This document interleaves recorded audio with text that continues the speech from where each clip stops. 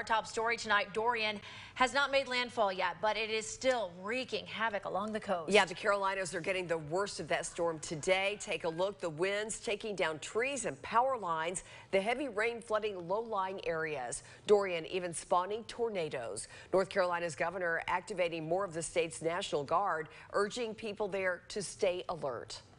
Get to safety and stay there. Don't let your guard down.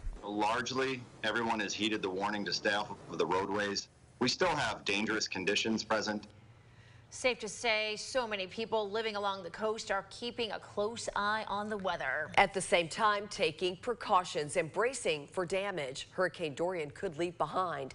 WATE 6 on your side reporter Laura Holmes speaking with an East Tennessee family who calls Charleston, South Carolina home. She joins us now live here in the studio. So, Laura, how is this storm impacting them? Well, right now it's just a lot of rain and wind. The Sandys have called South Carolina home for six years. They live on James Island and tell me they're lucky Hurricane Dorian hasn't hit them badly. Right now it's we're getting hit the hardest. This is rain and wind sweeping through Scott and Jen Sandy's backyard in Charleston, South Carolina. The winds are pretty pretty gusty. We have a few trees down in our neighborhood. As soon as it calms down, we're going to kind of walk around, but there's a few trees down. Power's obviously out. They live about 10 minutes from the coast and say Hurricane Dorian has been unpredictable. Once we saw it was a two, maybe a three, we're like, oh, okay, because three's, uh, category three was like our max.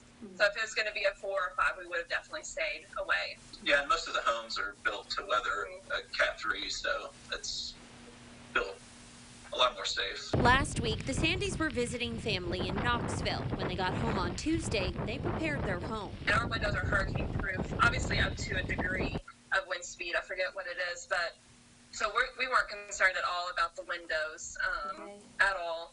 Um, we did some sandbags, but again, we don't get a lot of flooding where we are because we're pretty high up um, on James Island. After living through other hurricanes like Florence, the couple feels ready for this one. We have our phones all charged, so we get on Facebook and you know, everyone, all the local news and hurricane centers are updating their Facebook, um, doing live broadcasts, which is very helpful because right now we have no power.